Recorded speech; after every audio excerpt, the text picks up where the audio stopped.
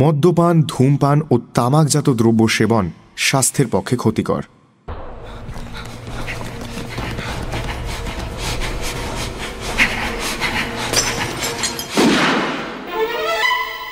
Sunday suspense শুধুমাত্র Mirchi ninety eight point থ্রিতে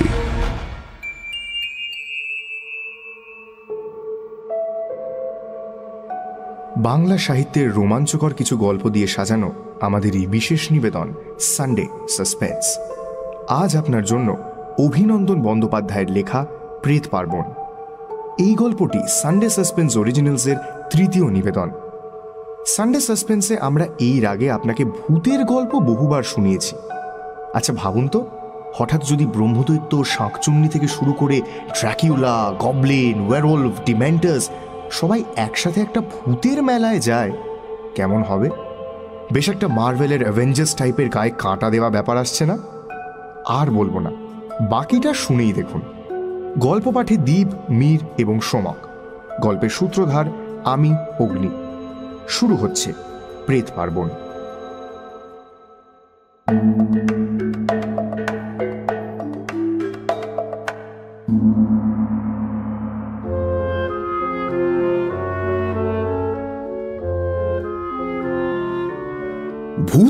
প্রেতের অস্তিত্বে দুটো প্রচ্ছন্ন দিক রয়েছে। এক নম্বর হলো ভয় আর দু নম্বর বিশ্বাস। এক নম্বরে অর্থাৎ ভূত প্রেতের ভয়ে আমি চিরকালই কাবু। উল্টে, এই ভয় পাওয়া ব্যাপারটা কতটা মানসিক নেশার মতো মনে হয়। ঘোর ঘোর লাগে। তবে ভূত প্রেত দত্তিদানও এসব অতিলৌকিক তথা প্যারানর্মাল বিষয়বস্তুতে আমার কোনো কালেই বিশ্বাস ছিল না। সেটা আমার কট্টর নাস্তিকতার কারণেই হয়তো। কিন্তু আজ দু হাজার আঠেরোর একত্রিশে অক্টোবর এই হ্যালোউইন সন্ধ্যায়। দক্ষিণ পশ্চিম লন্ডনের টুইকেনহ্যাম অঞ্চলের আমাদের এই বাড়িতে ঘটে যাওয়া একটা ঘটনার পর থেকে সেই বিশ্বাসেরও জন্ম হল। আজ থেকে প্রায় দু হাজার বছর আগে, আজকের দিনে, গ্রীষ্ম ও শীতের সন্ধিক্ষণে কেল্টিক ভাষী জনগণ ফসল কাটার উৎসব স্যামহেন পালন করত মহা সমারোহে বলা হতো এই দিন রাতে মৃত্যুর দেবতা ও আধারের রাজপুত্র। স্যাহেন সব মৃত আত্মাদের ডাক দিতেন জীবিতদের পৃথিবীতে অবতরণ করার জন্য। কিন্তু সময়ের সাথে সাথে এই স্যামহেন যে কীভাবে খ্রিস্ট ধর্মের কলে পড়ে অল হ্যালোজ ইভ হল। আর কি করেই বা পার্বণের বিবর্তনের রীতি মেনে আজকের হ্যালোইনে তা রূপান্তরিত হলো। সেসব কথা আজ ইতিহাস। এখন হ্যালোইন বলতেই ট্রিক অর ট্রিট বনফায়ার কিংবা হাল ফ্যাশনের হ্যালোইন কস্টিউম পার্টি যার সাম্প্রতিকতম শিকার কিনা, আমি নিজে স্বয়ং। শিকার বলার কারণ অবশ্য আমি নিজেই। চরম নাস্তিকতার পাশাপাশি ভিড়ভাট্টা লোকজন কোনো কালেই পছন্দ করি না। ফলে পার্বণ পালন কিংবা উৎসব উদযাপন থেকে দূরেই থেকেছি বরাবর। ছেলেবেলায় মা বাবা যেমন বুঝে গিয়েছিলেন, বিগত তেইশ বছরের সহধর্মিনীটিও তেমনি মেনে নিয়েছে আমার এই কট্টর নাস্তিকতা এবং উৎসব বিমুখী ব্যবহার। কিন্তু আমার সতেরো বছরের ছেলে সহজ এবং পনেরো বছরের মেয়ে শ্রুতির কাছে এসে আমাকে হার মানতেই হল। বেশ কয়েক বছর ধরেই তাদের আক্ষেপ এবং আবদার এই যে তাদের সব বন্ধু বান্ধবের বাড়িতে হ্যালোইন উপলক্ষে পার্টি পালন করা হয়, কিন্তু তাদের বাড়িতে কোনো বছরই কিছু হয় না।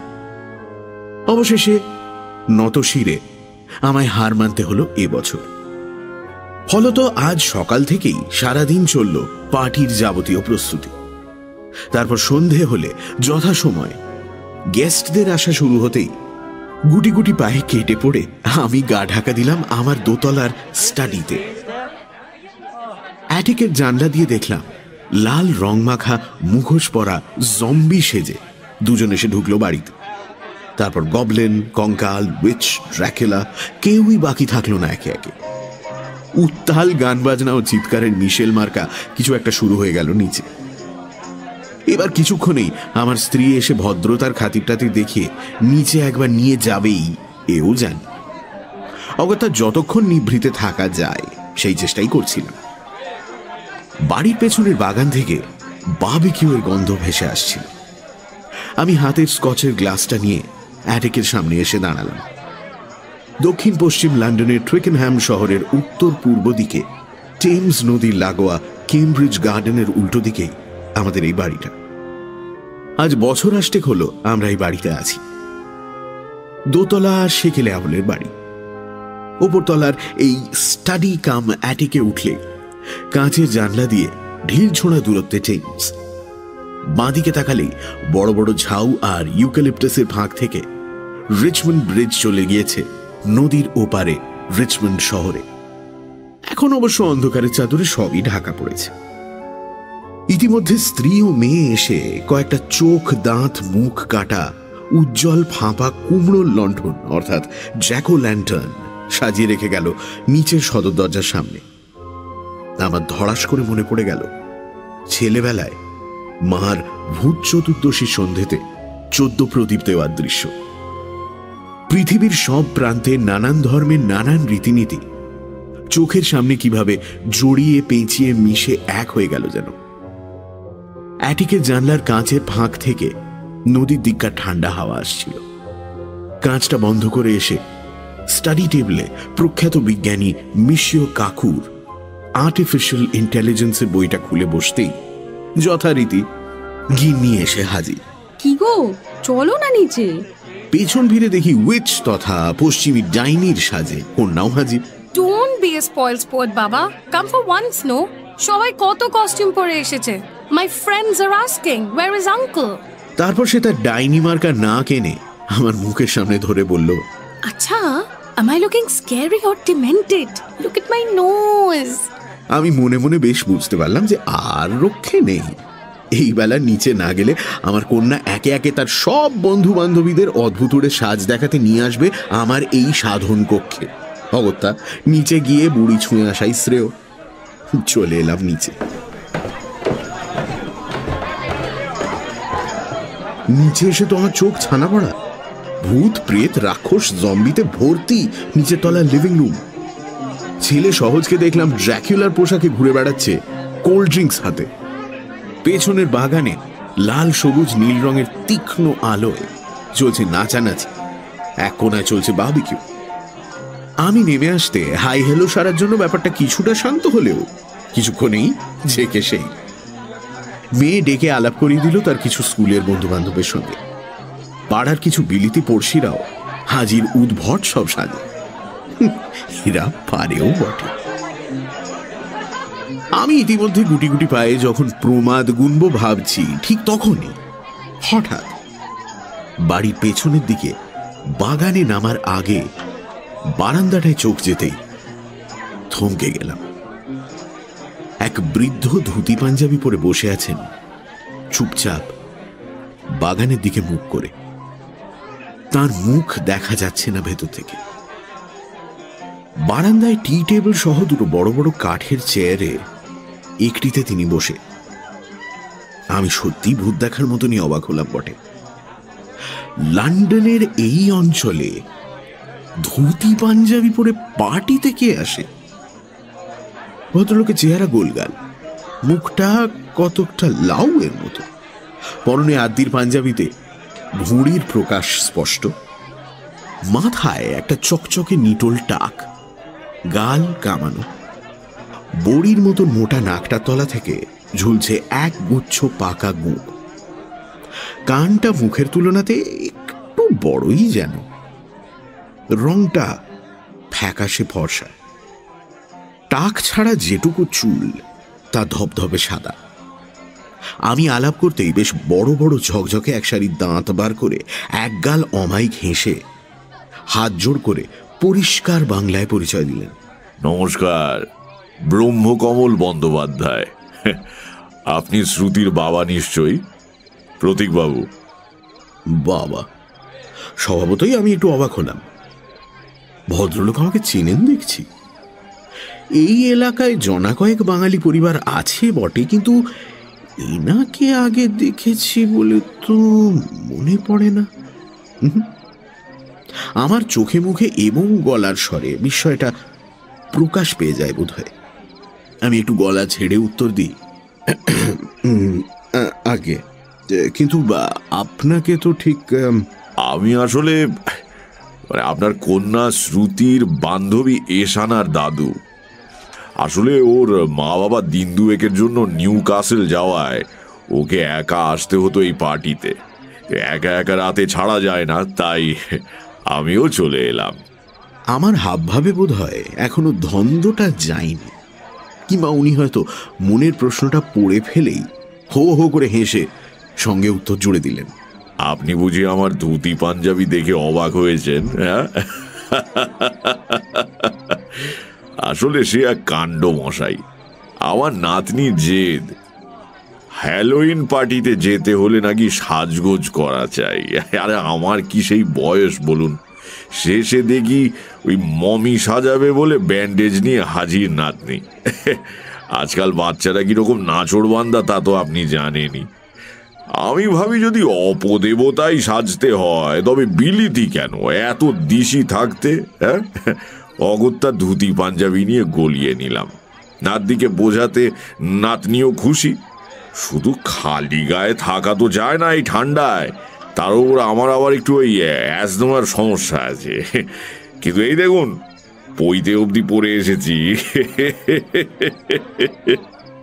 ভদ্রলোক পাঞ্জাবির ভেতর থেকে পইতেটা সত্যি সত্যিই বার করে দেখালেন আমায়।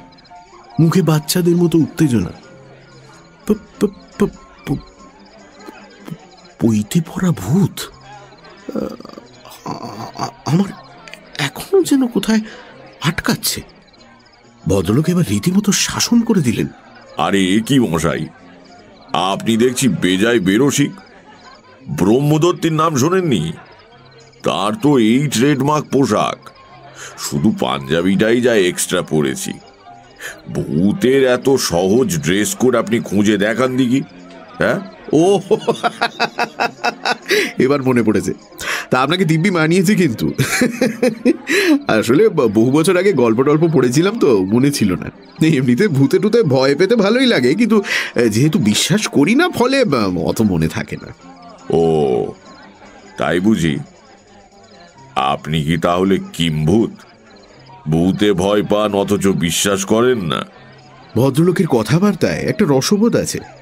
আমি হো হো করে হেসে নিয়ে উত্তর দিই। আগে না। ভয়টা রোম্যান্টিসিজমের কারণে।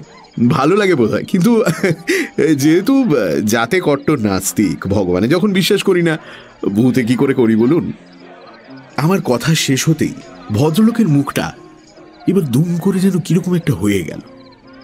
আলো নিভে গেলে যেমন হয়। সদাহাস্য গাল দুটো একটু শক্ত হলো যেন। বাগানের বাঁদিকে, ঝোপঝাড়ের কাছে বেশ কয়েকটা জ্বলন্ত নাকলার রাক্ষস মুখ হ্যালোউইন স্পেশাল কুমড়োর লণ্ঠন সাজানো ছিল।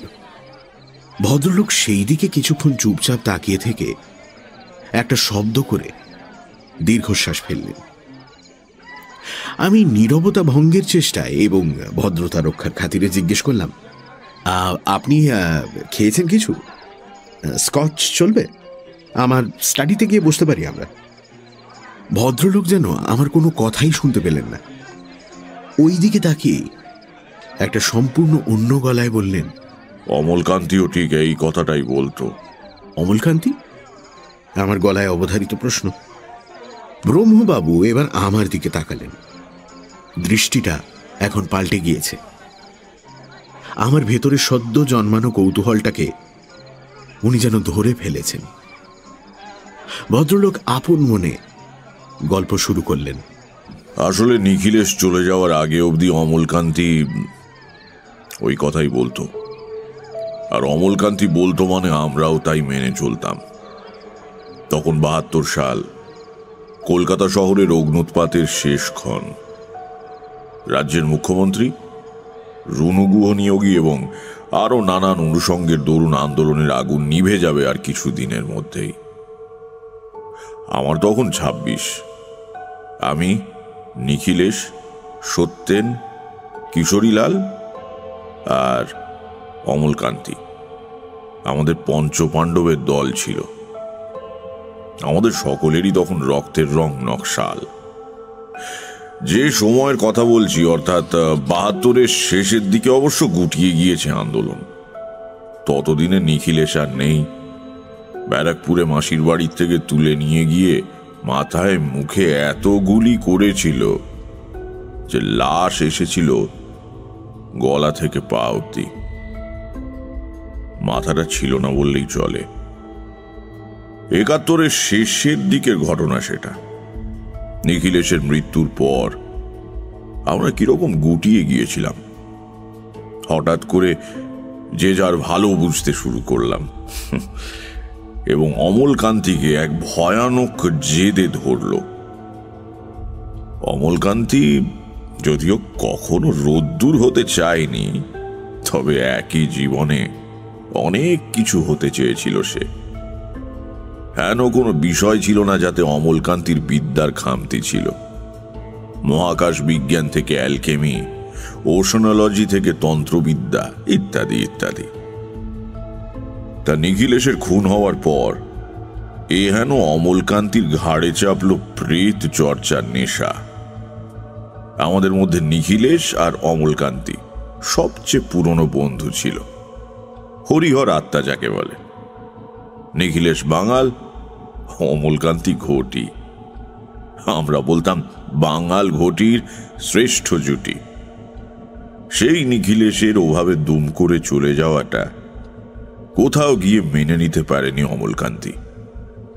তার তখন গো নিখিলেশের সাথে যোগাযোগ করেই ছাড়বে।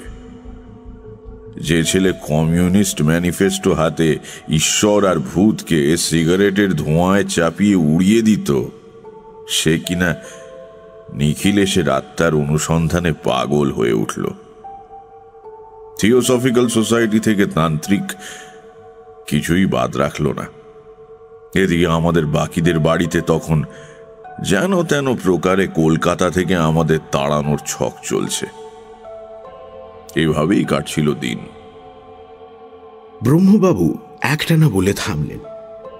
এবার আমার দিকে সরাসরি চেয়ে জিজ্ঞেস করলেন এই হ্যালোইনের মতন আমাদের বাংলাতেও ভূত চতুর্দশী বলে একটা পার্বণ আছে।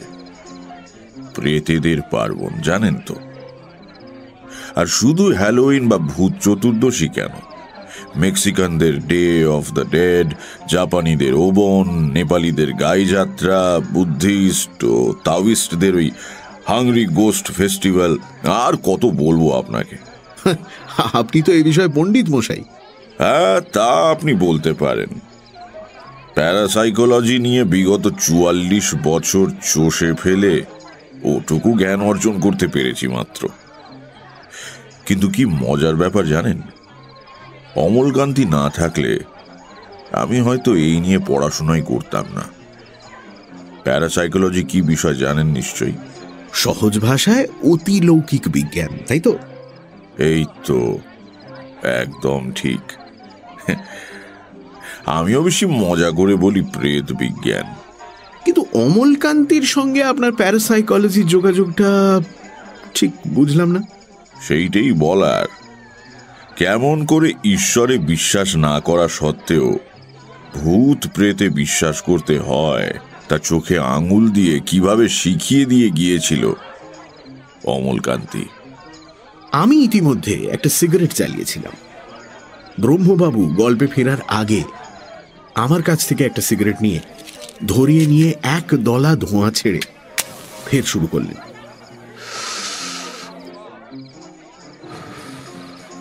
তো সেটা সেই বাহাত্তরের কালী পুজোর রাত। কিশোরীলালের মামা তাকে মুম্বাই ডেকে নিচ্ছে, সে যাচ্ছে ডিসেম্বরে। সত্যের নভেম্বরের শেষে যাচ্ছে আমেরিকা। আর আমার ভাগ্যে লন্ডন। যদিও আমার যাত্রার দেরি আছে। শুধু অমলকান্তি কলকাতা ছাড়বে না। সেই সময় নিরাপত্তার কারণেই আমাদের একসাথে বসা হতো না। আমরা সুযোগ খুঁজছিলাম। অবশেষে মহাকালী পথ দেখালেন। কিশোরীলালদের বাড়িতে বিশাল কালী পুজো হতো, আর ফি বছর কালী পুজোর রাতে ওদের উপরের চারতলার চিলেকোঠার ঘরে জড়ো হয়ে আমাদের পঞ্চপাণ্ডবের জুয়া খেলা ষাটের দশকের শেষের দিকে বাঁধা ছিল। সত্তর সাল থেকে নকশাল আন্দোলনের পত্তনকালীন সময় বছর খানেকের জন্য সেসব বন্ধ হয়। কিন্তু এবছর ঠিক হয়। আবার বসবে সেই জুয়ার আড্ডা। সবাই শহর ছেড়ে চলে যাওয়ার আগে শেষবারের মতন। সবাই এক কথায় রাজি হলেও অমল কান্তি কিন্তু মেয়েকে বসল। অবশেষে তাকে রাজি করালো কিশোরীলাল। কালী পুজোর দিন রাতে আমরা যথা সময় জড়ো হলাম কিশোরীলালদের চিলে কোঠায় ক্রমে রাত বাড়তে লাগল। দেখতে দেখতে দেয়াল ঘড়িটায় সশব্দে বারোটা বাজল। কিন্তু অমলকান্তি এখনও মনে আছে খয়েরি রঙের একটা পাঞ্জাবি, নিচে একটা সুতির কালো প্যান্ট, গলায় একটা ঘিয়ে রঙের মাফলার।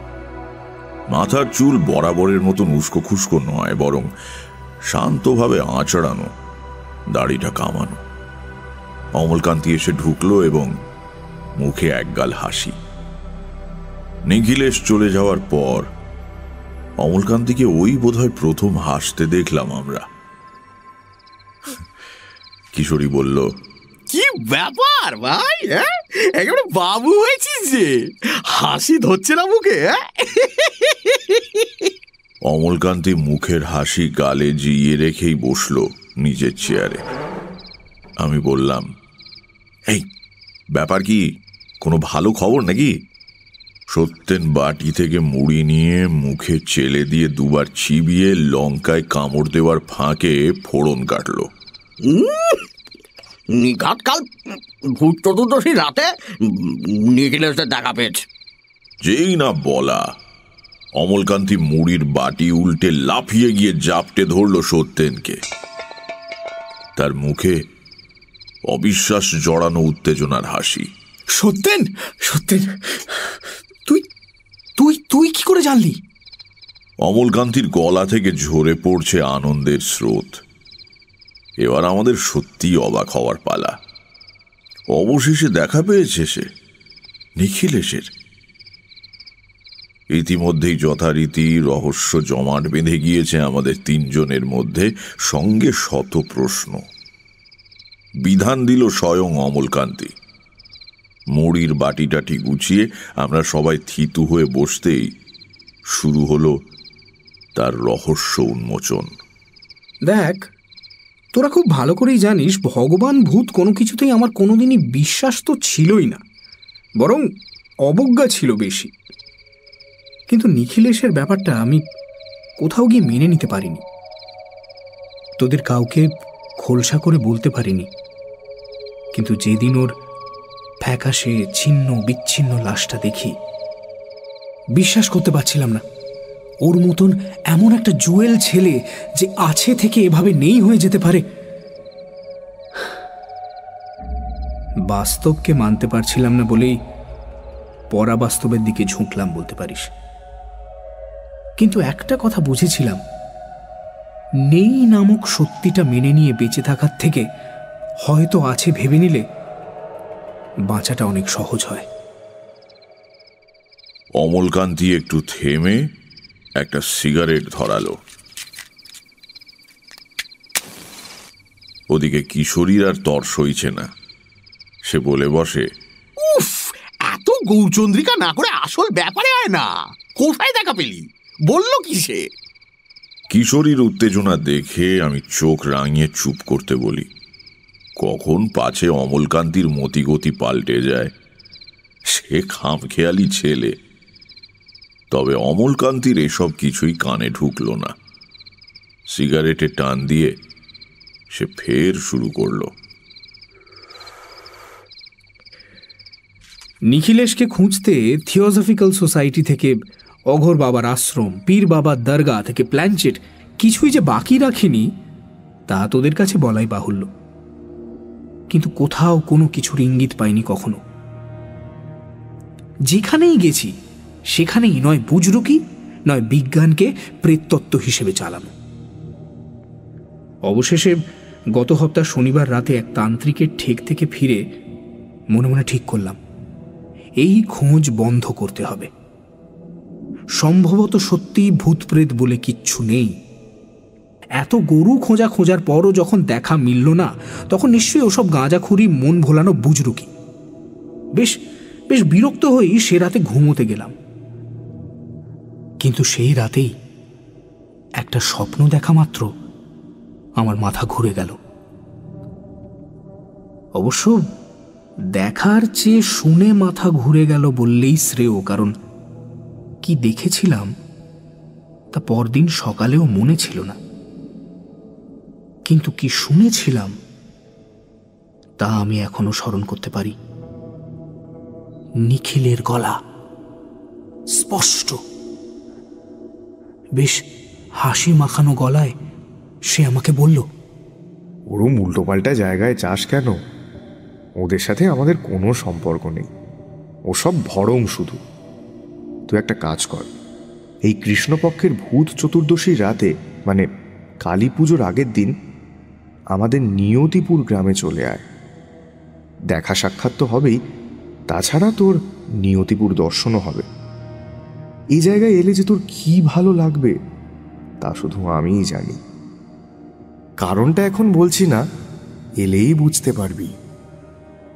যদিও সেখানে আমি এখনও পা রাখিনি, তবে মরার পর থেকে সে জায়গার বহু গল্প শুনেছি, এবং এও খবর পেয়েছি যে শহীদ কোটায় আমার জায়গা সেখানে পাকা। তাই এই কমাস ধরে এই বৈতরণী ঘাট স্টেশনে পড়ে আছি ভূত চতুর্দশীর অপেক্ষায়। তো যাই হোক, বাকি বৃত্তান্ত তুই এলেই না হয় বলব। এখন বোঝাতে গেলে মহাভারত হয়ে যাবে। এবার কি করে আসতে হবে সেইটে বলি। ভূত চতুর্দশীর দিন, রাত্রি ঠিক নটা ছয়ে, শিয়ালদার বারো নম্বর প্ল্যাটফর্ম থেকে একখানা গাড়ি ছাড়বে। নাম দেখবি বৈতরণী এক্সপ্রেস। উঠে পড়বি। টিকিট কাটতে লাগবে না। ওই ট্রেনের লাস্ট স্টপেজ হচ্ছে এই বৈতরণী ঘাট স্টেশন, যেখানে এখন আমি আছি। প্ল্যাটফর্মে আমি নিজেই থাকব। তারপর স্টেশন থেকে বেরিয়ে বৈতরণী নদী পেরোলেই নিয়তিপুর। একসাথেই যাব আমরা সেখানে। কেমন? নিয়তিপুর গ্রাম, বৈতরণী ঘাট স্টেশন, শিয়ালদা, রাত নটা ছয়, প্ল্যাটফর্ম বারো, বৈতরণী এক্সপ্রেস। মনে করে মনে করে।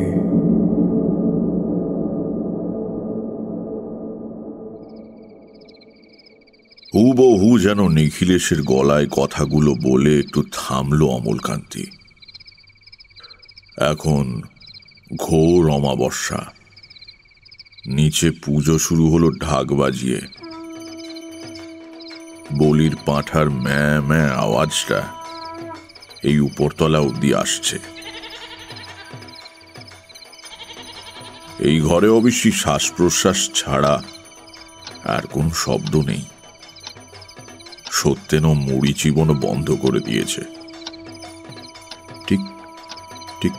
করে ঘড়ির নিয়ম মাফিক আওয়াজ চলছে কেবল।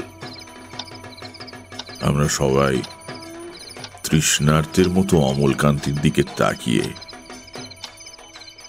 এরই মধ্যে সত্যেন মুখ ফসকে সুর করে বলে বসল নটা ছয় নয় ছয় হ্যাঁ? খুবই ইঙ্গিতপূর্ণ সময়। এবার কিশোরী সত্যেনকে চোখ রাঙিয়ে চুপ করিয়ে দিয়ে অমলকান্তির দিকে ফিরে খুব মিহি করে বলল হ্যাঁ এত তারপর? অমলকান্তি এবারও বোধ হয় সত্যেনের কথা শুনতে পায়নি। সিগারেটটায় শেষ টান দিয়ে অ্যাস্ট্রেতে গুঁজে সে আবার শুরু করল। তারপর আর কি? গতকাল যথা সময় পৌঁছে গেলাম শিয়ালদা স্টেশনে। ঠিক নটা ছয় বারো নম্বর প্ল্যাটফর্মে এসে দাঁড়াল বৈতরণী এক্সপ্রেস।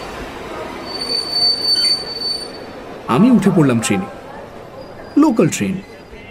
জানলার ধারে একটা সিট দেখে বসে পড়লাম। মিনিট দশকের মধ্যেই ট্রেন ছেড়ে দিল। আর ট্রেন ছাড়তে লক্ষ্য করলাম, আমার কোচে আর কেউ নেই। কে জানে কতক্ষণ লাগবে পৌঁছতে। হাওয়াও দিচ্ছিল দারুণ। চোখটা লেগে গিয়ে কখন ঘুমিয়ে পড়লাম খেয়াল নেই, কিন্তু ঘুম ভাঙল একটা গোলযোগে।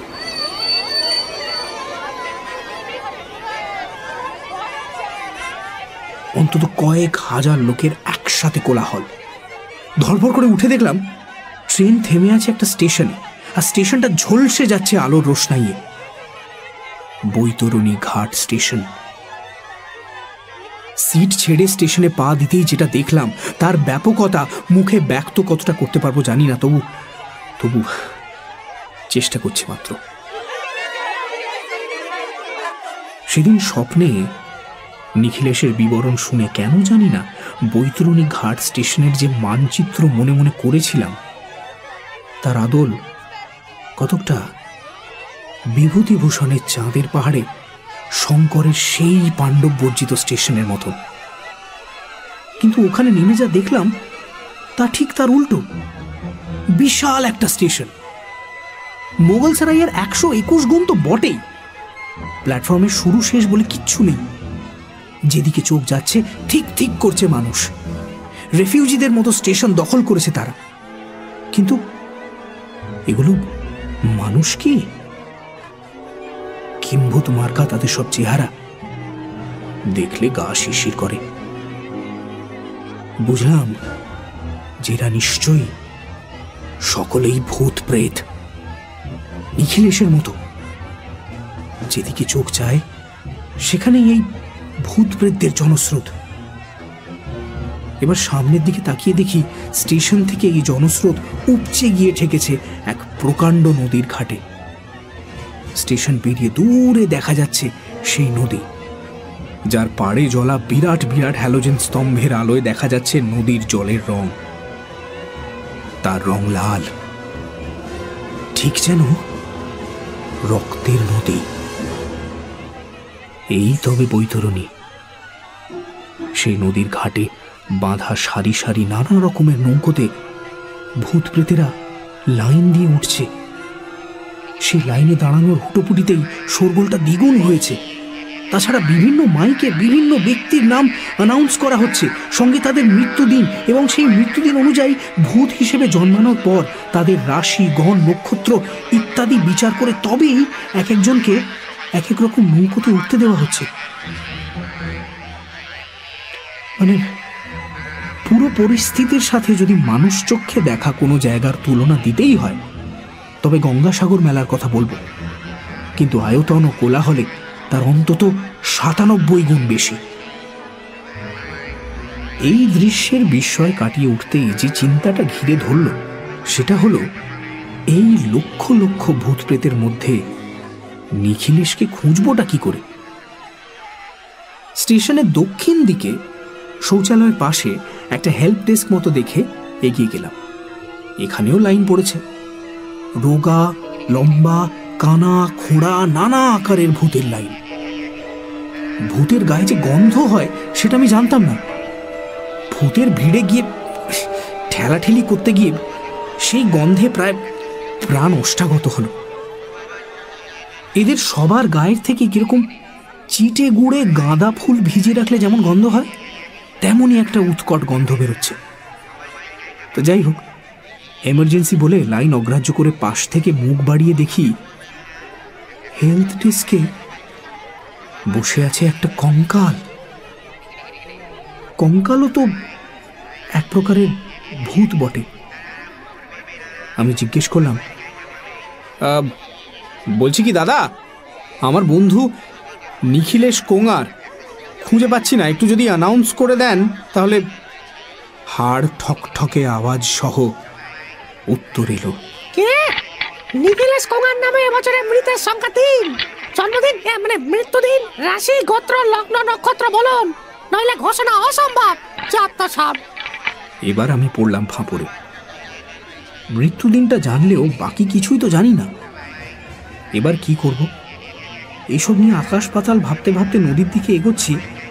এমন সময় দেখলাম সামনের ভিড় ঠেলে ছুটতে ছুটতে আমার দিকে এগিয়ে আসছে। নিখিলেশের মুন্ডহীন দেহ।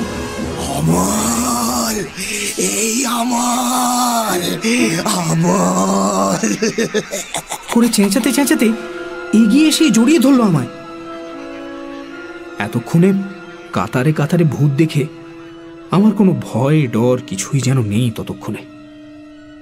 তবে একটা মুন্ডুবিহীন শরীর জড়িয়ে ধরলে একটু অস্বস্তি তো থাকবেই।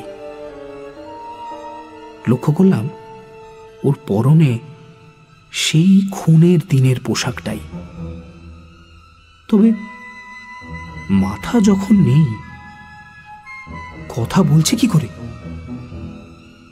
কোলাকুলি সেরেই এক পা পিছিয়ে যায় নিখিল। আমার মনের প্রশ্নটা যেন বুঝে ফেলে, কাটা গলার জায়গাটায় হাত বুলোতে বুলোতে মুখে একটা শব্দ করে বলল বলাই তো হয়নি তোকে। আমি মোড়ে স্কন্ধ কাটা হয়েছি যে। আসলে মাথাটা ছিল না তো। আমিও ঠিক কি উত্তর দেব বুঝতে না পেরে মজা করার ভঙ্গিতে জুড়ে দিলাম ও আচ্ছা একটা নতুন দৃষ্টিভঙ্গি পেয়েছিস বল। কি ভালো লাগছে তোকে দেখে ভাই মানে। ভালো বলে ভালো কতদিন পর। আর বাকিরা সব ভালো তো? হ্যাঁ রে সবাই ঠিকঠাক। ওরা তো সবাই বাইরে চলে যাচ্ছে। আর তুই? আমি? আমি এখানেই থেকে যাব ঠিক করেছি। বেশ করেছিস বেশ করেছিস। তা এখন চল দেরি হয়ে যাচ্ছে। তাছাড়া জলসাও শুরু হয়ে যাবে। এরপর নৌকা পাওয়া যাবে না। নৌকোয় উঠে বাকি কথা। কেমন? চল চল চল চল চল।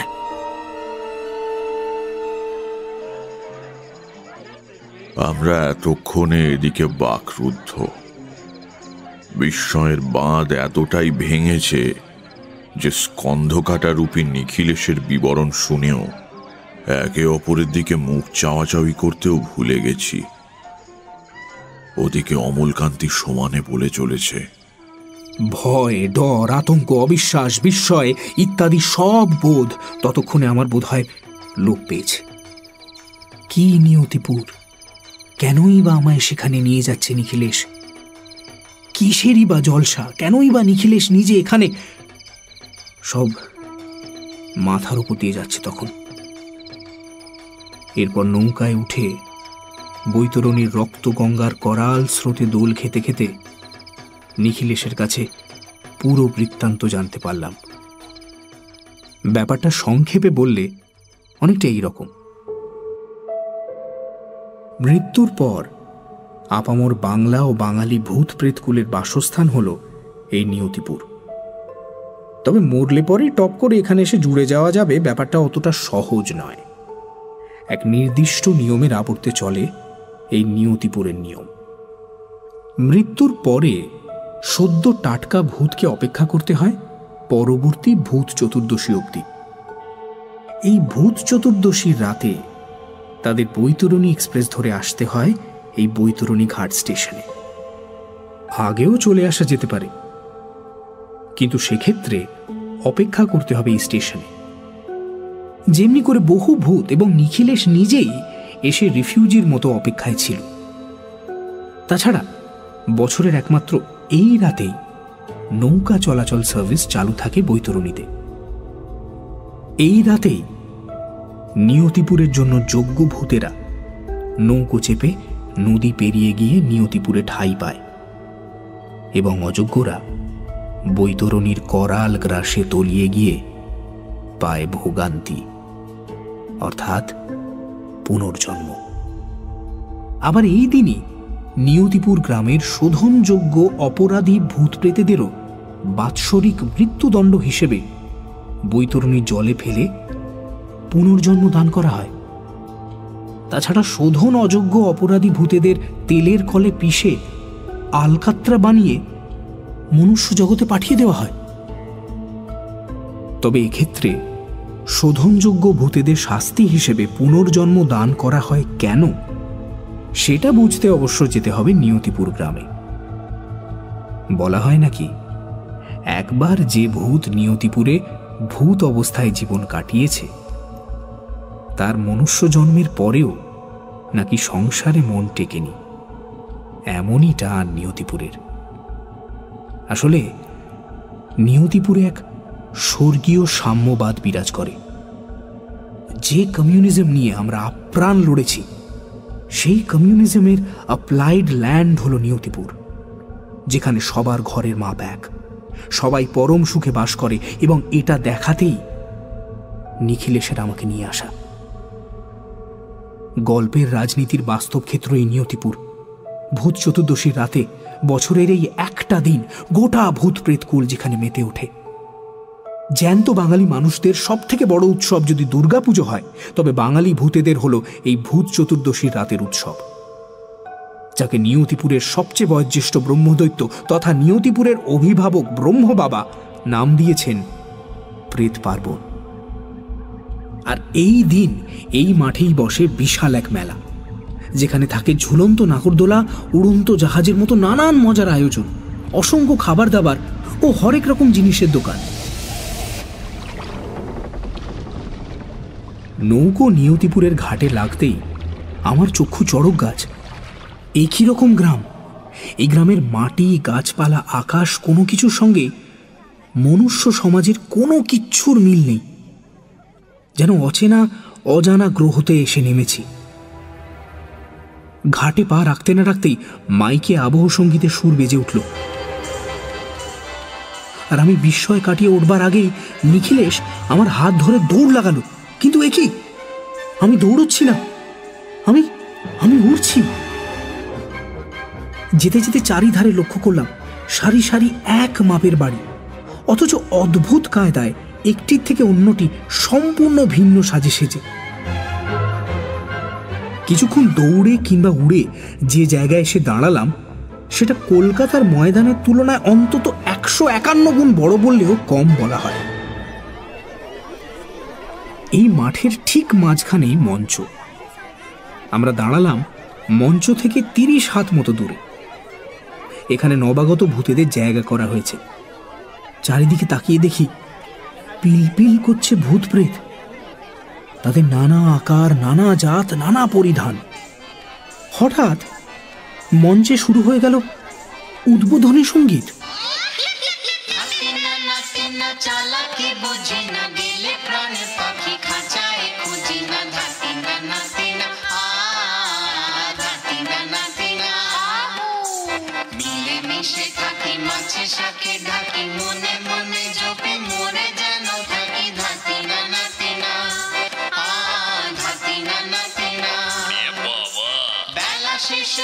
শুরু হয় খেলা মরে গেলে পরে নেই হেলা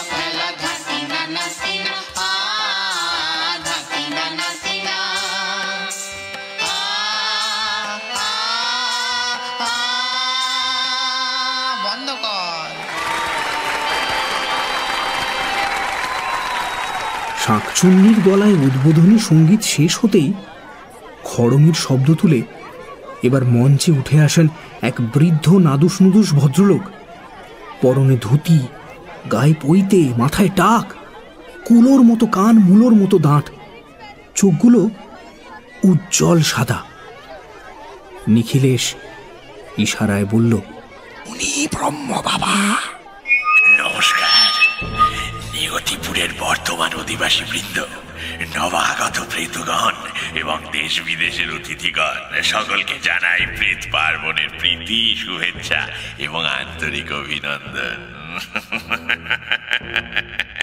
আজ কৃষ্ণপক্ষের এই পুণ্যতিথিতে আমরা প্রতি বছরের ন্যায় এবছরও প্রেত পার্বণের আয়োজন করতে পেরে গর্বিত। সবার আগে এই অনুষ্ঠানের পরিচালক হিসেবে আমার নিজের পরিচয় দেওয়া প্রয়োজন। আমি একজন নিতান্ত ব্রহ্মদৈত্য। বয়সের দিক থেকে নিয়তিপুরের সর্বগরিষ্ঠ সদস্য হওয়ার সুবাদে আমি এই নিয়তিপুরের একজন বৃদ্ধ অভিভাবক হওয়ার সুযোগ পেয়েছি মাত্র। এছাড়া যারা জানেন না, তাদের জানান দেওয়ার জন্য বলে রাখা ভালো যে আমাদের এই নিয়তিপুরে সম্পূর্ণ সাম্যবাদ বিরাজ করে। তাই নবাগতদের মূলত বলে রাখা যে পিছনের ফেলে আসা পৃথিবীর পরিচয়, মর্যাদার সব কিছু আপনাদের ওই বৈতরণীর জলে বিসর্জন গিয়েছে বলেই আপনারা আজ এই নিয়তিপুরের মাটিতে এসে দাঁড়াতে পেরেছেন। ব্যাস। ফেটে পড়ল হাততালিতে। এরপর বক্তৃতা শেষ হলে ব্রহ্মবাবা বাংলার ভূতকুলের সকল সম্প্রদায়ের সবচেয়ে বয়োজ্যেষ্ঠ ভূত প্রতিনিধিদেরকে একে একে মঞ্চে ডেকে উত্তরীয় দান করে সম্মান জ্ঞাপন করেন। সে কত রকমের ভূত? জঙ্গলের ভূত পেঁচাপেচি, ডাইনি বুড়িদের অনুগত শ্রেণির ভূত ডাকিনি, এছাড়াও একানোড়ে, হাঁকা বুড়ো, ঘ্যাঘো, জুজু যক্ষ বেতাল আরও অসংখ্য প্রায়। ব্রহ্মবাবা বললেন এভাবেই ভূতের প্রকার ভেদ বেড়ে চলবে অথচ ঐক্যতা সাম্যতা বজায় থাকবে। এটাই আমাদের কাম্য। এবারে একে একে অন্যান্য দেশের প্রতিনিধিরাও মঞ্চে উঠে অভ্যর্থনা গ্রহণ করতে শুরু করলেন। মিশরের মামি ইটালির ফ্র্যাঙ্কেনস্টাইন নেপালের কিচকান্দি লন্ডনের ব্লাডি ম্যারি আইরিশ ব্যানসি ছাড়াও werewolf Dracula, goblin, Peeves, bloody baron dementors সকলেই একে একে মঞ্চে সম্মানিত হলেন। এরপর শুরু হলো সুদীর্ঘ বিনোদন অনুষ্ঠান। ম্যাজিক থেকে শুরু করে নাচ গান কিছুই বাদ পড়ল না। এই ফাঁকে আমিও একটু মেলা ঘুরে দেখতে বেরিয়ে পড়লাম। একটা মেছো ভূতের চপের দোকানে গিয়ে দেখি কাদা চিংড়ির চপ ভাজছে গরম গরম। একটা নিয়ে মুখে দিতেই আ, প্রাণ ভরে গেল। এবার ভোজের পালা। খাওয়ার আয়োজন দেখে আমি তো বাক্যহারা। খাঁটি বাঙালি মতে পাত পেড়ে খাবার ব্যবস্থা। আমিও গোগ্রাসে খেতে শুরু করলাম। খেতে খেতে যেন আর মানুষ থাকলাম না। উফ, আর মিষ্টি, কিছু মিষ্টির বাহার দেখলাম জীবনে। খেয়ে উঠে তৃপ্তিতে পেটে হাত বুলোতে বুলোতে খেয়াল হলো, যা, ভুলেই তো গেছি। বাড়ি ফিরতে হবে। নিখিলেশকে বিদায় জানাতে গেলে সে বলল, সে আমি নিজে গিয়ে তোকে ভোর রাতে ট্রেনে তুলে দিয়ে আসব ক্ষণ তার আগে ব্রহ্ম বাবার সঙ্গে একবার দেখা করে আয়গে যা। ওনার অনুমতিতেই এই প্রেত পার্বণ দর্শন হলো কি না? নিখিলেশের কথা মতো ব্রহ্ম বাবার কুটিরে এসে হাজির হলাম। ভোজের পরে তিনি তখন গদিতে হেলান দিয়ে থেলো হুঁকো টানছেন। আমি ঢুকতেই এক দৃষ্টে চেয়ে রইলেন আমার দিকে। মঞ্চে দূর থেকে দেখি কিছু না মনে হলেও এখন ওনাকে দেখে গায়ে কাঁটা দিয়ে উঠল। আমি মাথা নত করে হাত জোড় করে প্রণাম করলাম। ভদ্রলোকের গায়ের থেকে সাদা আলোর যেন জ্যোতি বেরোচ্ছে। সাদা চলন্ত দৃষ্টিহীন চোখে আমার দিকে কিছুক্ষণ তাকিয়ে থেকে মূলোর মতো বিশাল দাঁতগুলো বার করে এক ঘাল অমাইক হেসে গম্ভীর গলায় বললেন, তা কেমন লাগল বাবা সবকিছু? বাবা জন্ম জন্মান্তরেও ভুলবো না। আমি আহ্লাদে বঙ্কিম হয়ে গেলাম। ব্রহ্ম বাবা জোরে হেসে বললেন সে তো নিশ্চয় সে তো নিশ্চয়। আমাদের মানুষের পৃথিবীতে যে উচ্চ নীচ ভেদ আমরা দূর করতে পারলাম না হয়তো কেউই কোনোদিন পারবে না। সেটা তো আপনি এই নিয়তিপুরে সম্ভব করেছেন। এর চেয়ে বড় কিছু আর আরে আমি নিমিত্ত মাত্র হে। মানুষ জীবিত থাকতে যে মনুষ্যত্ববোধ মৃত হয়ে থাকে সে মরে এখানে এলে সেই বোধ জাগিয়ে তুলতে সক্ষম হয়েছি মাত্র। আমি ব্রহ্ম বাবার প্রেমে ততক্ষণে হাবুডুবু খাচ্ছি রীতিমতন। চোখের জল মুছে প্রণাম করে বললাম বাবা জানি না কতদিন বাঁচব। যদি মরি তবে স্বর্গে যেন না যাই আপনার এই নিয়তিপুরে যেন আসতে পারি। আশীর্বাদ করুন বাবা আশীর্বাদ করুন। উত্তরে ব্রহ্মবাবা কিচ্ছু না বলে স্রেফ মুচকি হাসলেন। আর সেই হাসি মাখা সৌম্য স্নিগ্ধ ভয়ঙ্কর মুখখানা বুকে নিয়ে নিখিলেশকে বিদায় জানিয়ে ফিরে এলাম কলকাতায়। আমার আর সত্যি দুঃখ কষ্ট কিছু নেই রে। নিখিলেশের সঙ্গে দেখা করতে গিয়ে এই ব্রহ্মবাবার সাকুল্যে আর নিয়তিপুরের রূপ দেখে আমি এখন এই শহর, এই রাজনীতি, এই অমানবিক মানুষদের থেকে অনেক মুক্ত বোধ করছি। অমলকান্তি তার বক্তব্য শেষ করল। চিলেকোঠার ঘরে আমরা সবাই চুপচাপ। আমার মাথায় তখন একটাই প্রশ্ন ঘুরছে। মানে সবই বুঝলাম, কিন্তু যে নিয়তিপুরে ভূতদেরও এত কাঠখড় পুড়িয়ে যেতে হয়, সেখানে অমলকান্তি জ্যান্ত ঘুরে আসলো কীভাবে? সেই ব্রহ্ম বাবাই বা তাকে অ্যালাও করল কেন? এসবই এলোপাথারি ভাবছি এবং ভাবছি আদৌ প্রশ্নটা অমলকান্তিকে করা ঠিক হবে কিনা। ইতিমধ্যে মাঝখান থেকে সত্যেন হঠাৎ জ্যাঠামো করে ঠাট্টার সুরে বলে বসল আচ্ছা তোর ওই ব্রহ্ম বাবাকে কি কোনোভাবে কার্ল মার্কসের মতো দেখতে হ্যাঁ? কথা শেষ করে মাথা নিচু করেছিল অমলকান্তি। সত্যেনের এই অকারণ ঠাট্টায় হঠাৎ করেই ছিটকে উঠে দাঁড়িয়ে একটা জ্বলন্ত দৃষ্টিতে সত্যেনের দিকে তাকিয়ে ঝড়ের মতন ঘর থেকে বেরিয়ে গেল সে। আর আমরা থতমত হয়ে বসে থাকলাম। নিচে পাঁঠার ম্যাটাও হঠাৎ থেমে গেল এবার। উলুধ্বনি উঠল, বোঝা গেল বলি সাঙ্গ হয়েছে।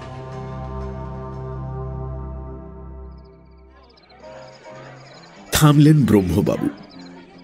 আমি কবে শেষ এত মন দিয়ে কোনো মানুষের মুখে গল্প শুনেছি মনে পড়ে না। সেই ছোটবেলায় শেষ বোধ হয় ইতিমধ্যে ব্রহ্মকমল বাবুর মুখে অমলকান্তির গল্প শুনতে শুনতে যে বহুক্ষণ কেটে গেছে তা বলাই বাহুল্য। বাগানের নাচানাচিটা এখন ঘরের ভেতর ঢুকে গেছে। স্ত্রী এসে কিছু খাবার দাবার জলও দিয়ে গেছে। কিন্তু তাতে না উনি হাত লাগিয়েছেন না আমি। আমি ওনার দিকে জলের গ্লাসটা এবার এগিয়ে দিয়ে জিজ্ঞেস করলাম, এখানেই শেষ? ভূতের গল্পে শুনেছি উপসংহার খুবই গুরুত্বপূর্ণ বিষয়। ভদ্রলোক জলস্পর্শ না করেই একই সুরে বললেন, ঠিকই শুনেছেন। আর সেই গুরুত্বপূর্ণ খবরটা আমি পেয়েছিলাম দুদিন পরে। আমার সেই কালী পুজোর রাতের প্রশ্নগুলোর উত্তরও পেয়ে গিয়েছিলাম সেই খবর থেকেই। খবরটা বাড়ি বয়ে এনেছিল সত্যেন। হাতে একটা খবরের কাগজ তুলে দিয়ে সে জানালো যে যেদিন রাতে কিশোরীলালদের চিলেকোঠায় অমলকান্তি আমাদের সঙ্গে বসে দুটো আস্ত সিগারেট পুড়িয়ে আড্ডা মেরে গিয়েছিল। সেদিনই সকালে শিয়ালদা স্টেশনের কারশেড থেকে রামপুরহাট লোকালের একটা কম্পার্টমেন্টে জানলার ধারের সিটে অমলকান্তিকে ঘুমন্ত অবস্থায় পাওয়া গিয়েছিল। আর তার গলায় ছিল দুটো বুলেট মার্ক। তখন তার পরনে ছিল খয়েরি রঙের একটা পাঞ্জাবি, নিচে একটা সুতির কালো প্যান্ট গলায় একটা ঘিয়ে রঙের মাফলার। পরদিন পোস্টমর্টেম রিপোর্টে আরও গুরুত্বপূর্ণ যে ব্যাপারটা জানা গেল, তা হল, লাশ ডিটেক্ট করার আগের দিন রাতে, অর্থাৎ ওই ভূত চতুর্দশীর রাতে, এই নটা দশটা নাগাদ পুলিশের এনকাউন্টারে গুলি খেয়েই ঘুমিয়ে পড়েছিল অমলকান্তি। ফলে সেই ঘুম থেকে তাকে আর কখনো তোলা যায়নি। এ ঘটনা শুনে কালী পুজোর রাতের প্রশ্নের উত্তর আমি পেয়ে গিয়েছিলাম যে কেন ব্রহ্ম বাবা অমলকান্তিকে সাদরে আমন্ত্রণ করে নিয়ে গিয়েছিলেন সেই রাতে। কিন্তু সেই বাহাত্তর সালের কালী পুজোর রাতে আমরা কার সাথে বসে কার কাছ থেকে প্রেত পার্বণের গল্প শুনেছিলাম? তার উত্তর, আমরা কেউ কখনোই পাইনি। শুধু কিশোরীর চিলেকোঠার অ্যাস্ট্রেতে দুটো আস্ত সিগারেট গোঁজা অবস্থায় পাওয়া গিয়েছিল বলে জানতে পেরেছিলাম। এরপর তিয়াত্তরের দেশ ছেড়ে এই বিলেতে এসে এত বছর ওই প্রেত বিজ্ঞান তথা প্যারাসাইকোলজি নিংড়িয়েও সেই উত্তর পাইনি শুধু একটাই কথা। নাস্তিক হয়ে ভগবানে বিশ্বাস করি না বলে ভূতেও করি না, এই কথাটা আর কাউকে কোনোদিন বলতে পারিনি। অমলকান্তিও বলতে পারেনি আর কখনো নিশ্চয়ই। আর এবার এবার আপনি দেখুন আজ থেকে আপনি বলতে পারবেন কিনা। কথা শেষ করতে না করতেই ভদ্রলোকের ভয়ঙ্কর কাশি শুরু হলো। আমি জলে গিয়ে দিতে জল না খেয়েই উঠে পড়লেন। আসলে আসলে সিগারেট খেয়ে ফেলেছি তো। ইনহেলারটা আবার ফেলে এসেছি।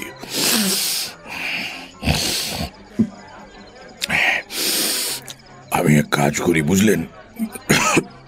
ইনহেলারটা বরং নিয়ে আসি। পাশেই বাড়ি।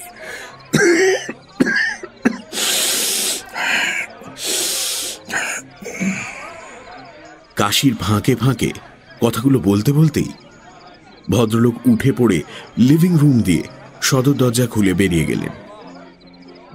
ওনার এই অকস্মাৎ আড্ডায় জবনিকা পতনে। একটু আশ্চর্যই হলাম। অদ্ভুত লোক কিন্তু। না মানে গল্পটা ভালোই বানিয়ে বলেন। যদিও সম্পূর্ণই আষাঢ়ে এবং গাঁজাখুরি মেশানো, তাও উনি কি করে যে ভাবলেন এই গল্প বলে উনি আমাকে ভূতে বিশ্বাস করিয়ে দিয়ে যাবেন? তা উনিই জানেন। এর থেকে অনেক ভয়ঙ্কর গল্প আমি আগেও মানুষের মুখে শুনেছি। আমার ভদ্রলোকের জন্য একটু মায়াই হলো যেন। বেচারা কত বাক্য ব্যয় না করলেন আমাকে ভূতে বিশ্বাস করানোর জন্য। বাবা! ভদ্রলোকের কথা ভাবতে ভাবতেই আনমনের লিভিং রুমের মাঝামাঝি চলে এসেছিলাম প্রায়। কন্যা শ্রুতি চিৎকারে হুশ ফিরল। কোথায় ছিলে এতক্ষণ? এই তো তোর বন্ধু এশানার দাদুর সাথে গল্প করছিলাম। ব্যাকয়ার্ডে কেন কি হয়েছে? হুজ দাদু? And who's Ishana Ishana your friend তোর বন্ধুই বললেন তো এই পাড়ায় থাকে। I don't have any friend named Ishana বাবা। ইশানাটা আবার কে? আর এই পাড়ায় I don't have any friends don't you know কি বলছো বলো তো? আমি চুপ করে দাঁড়িয়ে থাকি। সত্যি তো? শ্রুতির যে এ পাড়ায় কোনো বন্ধু বান্ধব নেই সেটা তো আমি জানতাম। মাথায় ছিল না। কিন্তু তাৎক্ষণিকভাবে ব্যাপারটা চাপা দেওয়ার জন্য বলি ও I'm so sorry my mistake আমি নামটা ভুলে গেছি। আই গেস অন্য কেউ হবে। তুই যা বন্ধুদের সাথে গল্প কর। আমি আমি একটু ওপরে যাচ্ছি। মেয়ে শ্রুতি আবার পার্টির ভিড়ে মিশে যেতেই আমি পড়ি কি মরি করে বাগান লাগোয়া বারান্দায় এসে অ্যাস্ট্রেটা হাতে তুলে নিতেই আমার মাথাটা ঘুরে যায় যেন এক পাক। ভদ্রলোক যে সিগারেটটা একটু আগে খেয়ে নিজে হাতে স্টাব করে দিয়ে গেছিলেন। সেটা একটা আস্ত সিগারেট হয়ে পড়ে রয়েছে ঠিক সেই অমলকান্তির সিগারেট দুটোর মতোই। চারিদিকের কোলাহল অজান্তেই যেন নিস্তব্ধতায় পরিণত হল। অ্যাস্ট্রেটা নামিয়ে রেখে গোটা সিগারেটটা হাতে নিয়ে কোনো এক ঘোরের মধ্যে স্টাডিতে উঠে এলাম আমি। অ্যাটিকের কাঁচের জানলাটা আবার ফাঁক হয়ে খুলে গেছে। সেখান থেকে নদীর দিককার একটা ঠান্ডা হাওয়ার স্রোত সশব্দে ঢুকে আসছে ঘরে।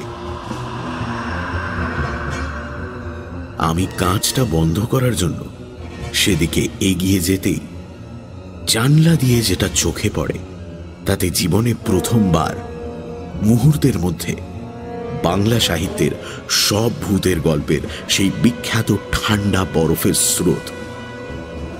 শির দাঁড়াবে নেমে যায় আমারও জানলা দিয়ে স্পষ্ট দেখি, কিছুক্ষণ আগে পাশে বসে থাকা ব্রহ্মকমল বন্দ্যোপাধ্যায়। এখন খালি গায়ে টেমসের তীরের অন্ধকারে দাঁড়িয়ে আমার দিকে স্থির দৃষ্টিতে চেয়ে রয়েছে।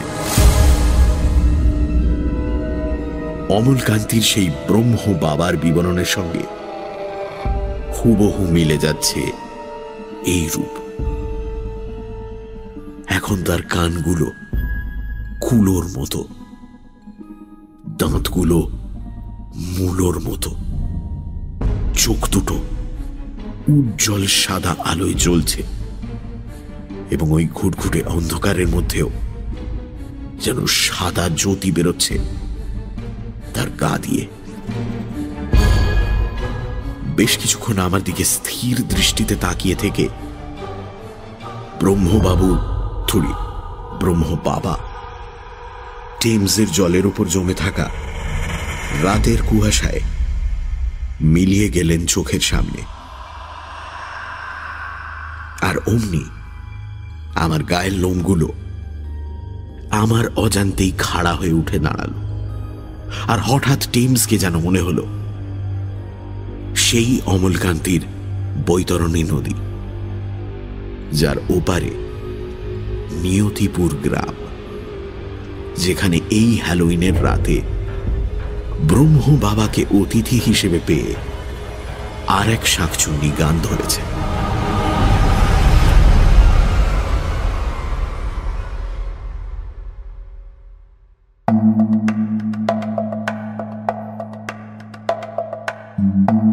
শুনছিলেন সানডে সাসপেন্স অরিজিনালসের নিবেদন, প্রেত পার্বণ। রচনা অভিনন্দন বন্দ্যোপাধ্যায়।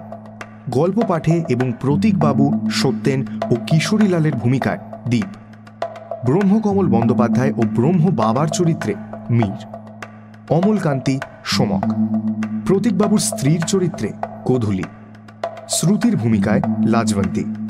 শাকচুন্নিদের গান, রচনা, অভিনন্দন, সুর, সমক। কণ্ঠ, শ্রী, গোধূলি এবং Somak. Arrangement mixing and mastering, Sayak. সমবেত কণ্ঠে রিচার্ড, বাবু, রতন, বিশাখা, শ্রুতি, লাজবন্তী, প্রতীপ, আলতামাস, শ্রী, গোধূলি এবং পুষ্পল। নিখিলেশ, স্কন্ধকাটা ভূত, হেল্প ডেস্কের কঙ্কাল এবং গল্পের সূত্রধার, আমি, অগ্নি। শব্দগ্রহণ, আবহ সংগীত এবং special এফেক্টসে Richard. Social media publicity design ওত্রি Godhuli, Altamas এবং টিম অ্যাস্টারিস্ক পর্ব পরিচালনায় রিচার্ড এবং টিম সানডে সাসপেন্স বিশেষ সহযোগিতায় অগ্নি ও কধুলি। শেষ হল অভিনন্দন বন্দ্যোপাধ্যায়ের লেখা সানডে সাসপেন্স অরিজিনালসের নিবেদন প্রেত পার্বণ। আগামী সপ্তাহে আরও একটি রোমাঞ্চকর গল্প নিয়ে হাজির হবে সানডে সাসপেন্স।